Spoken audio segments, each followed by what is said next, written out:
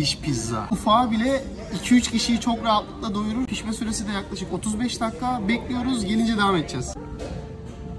Evet arkadaşlar pizzamız geldi. Pizzanın kalınlığına bakın. Turta şeklinde geliyor. Nasıl? Muhteşem. Dediğim en iyi pizza kesinlikle. Böyle bir şey yok. Bak dayanamadı. Bu bile dayanamadı düştü. İçindeki peynir muazzam ve baharatı, sosu içindeki peynire kadar işlemiş muhteşem bir tat. Fiyatları da 24 dolardan başlıyor 40 dolara kadar gidiyor. Fiyatlar bir tık pahalı gibi. Fiyatlar hakkında ne düşünüyorsunuz? Bu pizzaya değer mi?